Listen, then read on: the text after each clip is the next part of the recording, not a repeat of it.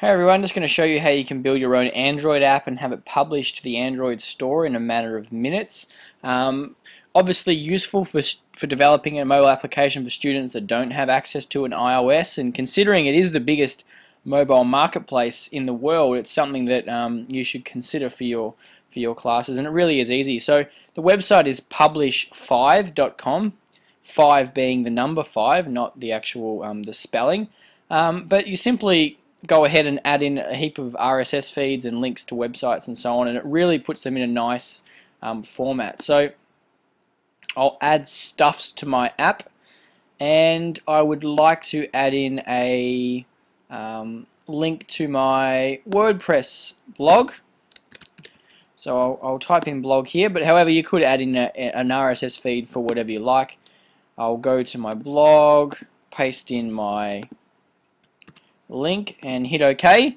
And it's going to work to add my blog into a nice mobile friendly readable format. If you click on um, the items it doesn't actually show you how it looks but it gives you a bit of an idea.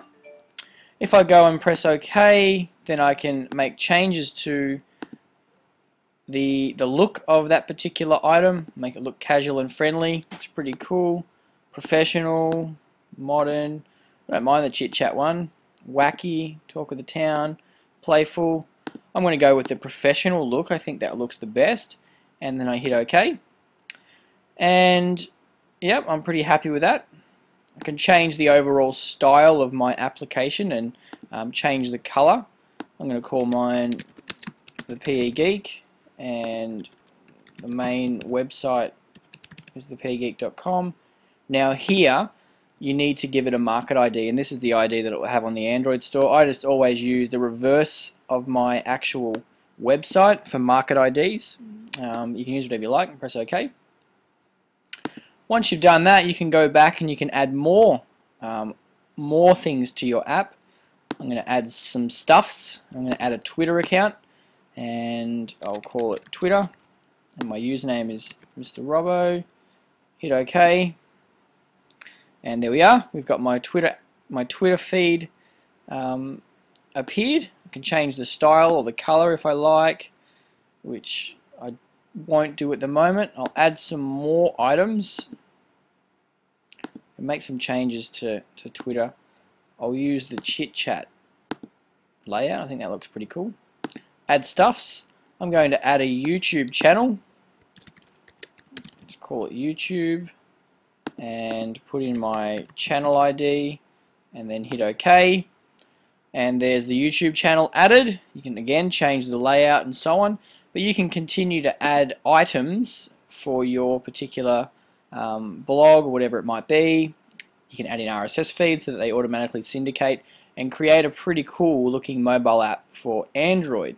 Now when you are happy with um, how it looks you can in fact go to test or publish my app and hit publish my app. Now it's going to bring up an, an option where you need to pick an image which will be used for the icon so you can go ahead and, and choose one of those.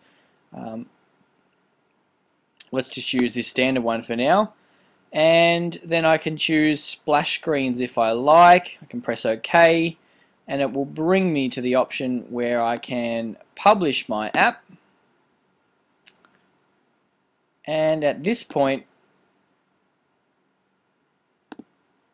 it's not letting me publish my app probably because I haven't finished everything.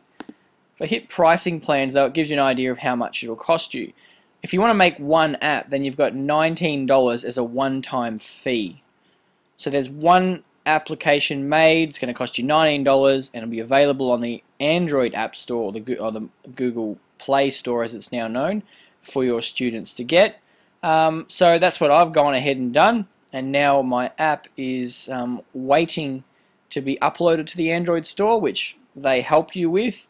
Um, so yeah, really powerful, really cool and certainly something that um, teachers should consider um, for people who don't have access to um, an iOS device but have the most popular mobile device that we actually have.